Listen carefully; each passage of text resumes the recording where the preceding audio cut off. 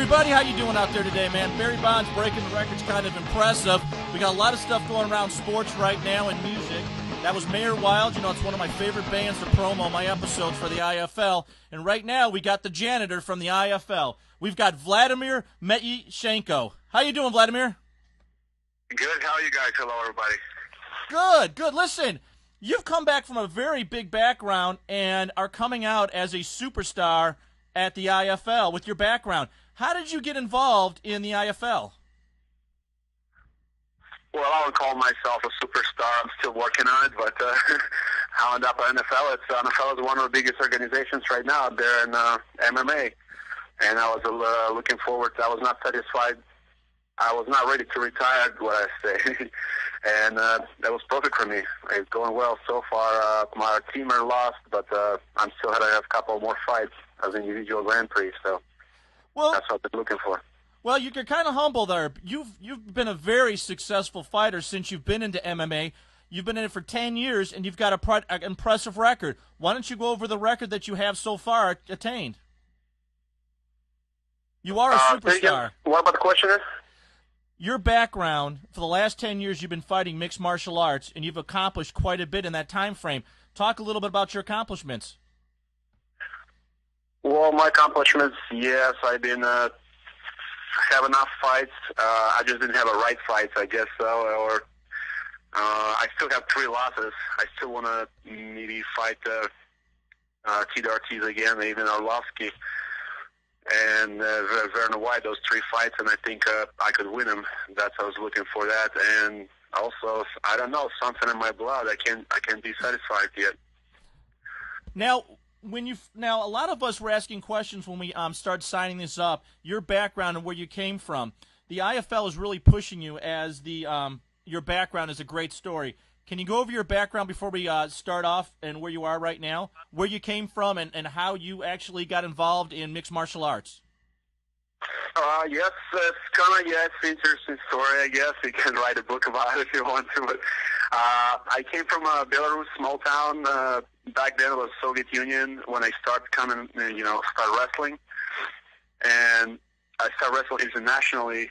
Uh, that's my most dream to just travel and see different countries. And I come to America. Actually, it was my second time in America, and at that time in the early '90s. Uh, things were falling apart there in uh, back in old country, and and coaches were stealing money from the team, and uh, I decided, hey, I'm gonna stay here. I like it here in the United States, even though uh, my wife and my four years old kid was back there still. I'm like, I'm staying. I'm gonna bring him over later, and which is I did.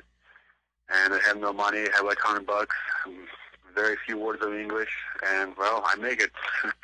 I start wrestling rest the college. I coached the college, and uh, and it was pretty successful years for me. And start fighting. I saw a few early UFCs, and uh, I say I can do it. And- And, I went in, and that's it. it's it's kind of impressive. Your background is very little English and where you come from now, um, as far as in the IFL. Right now, you're entering the um, Grand Prix, and your fighting style is very plodding along, looking for your openings and then capitalizing. What would you consider your style in your own words? my style in my word words. There's no such a thing as a style. I keep telling everybody, but uh, the first style takes whatever you want to win. Uh, if a guy wants to be ground pound, I take him ground pound. And my last fight, I tried some kicks and uh, strikes, and it works pretty well. And in the future, I'm looking forward to it. I can't just rely on one thing, and I know people. The more the famous, I guess, I guess, and uh, the more people will learn the fighters who fight against me. So I have to be well prepared and surprising. I mean, watching you is kind of amazing to watch how you go into a fight, set it up, and bam, you start taking over the match. This last fight you had, um, if I remember correctly and, and gone through the notes because I've made mistakes before in interviews, um, it, it went to the decision on that one. And usually you're a first round knockout. You take care of business pretty quickly. What happened in, the, in that last fight?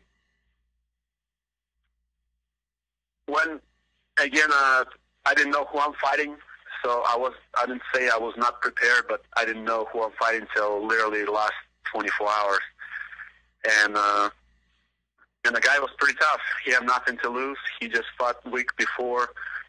Uh, he's uh, was an All-American wrestler, and the team had already won.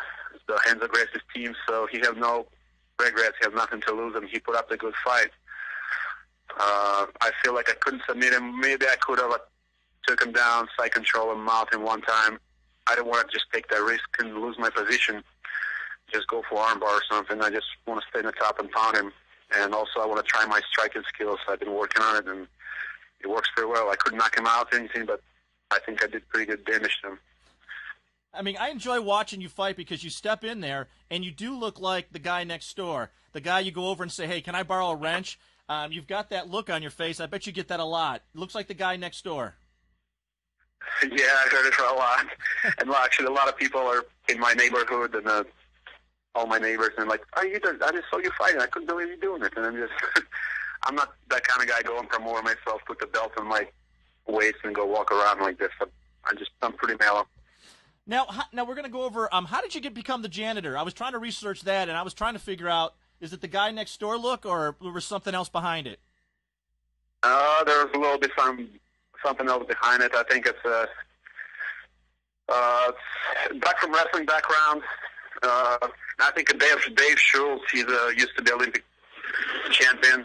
He passed away now, but uh, he gave me that nickname. I think uh, when I was back in Russia, American team came over and. Uh, I was kind of cleaning the mats. I didn't exactly was wearing uh, uh, athlete's outfit because I would just get released from my uh, military base. Yeah.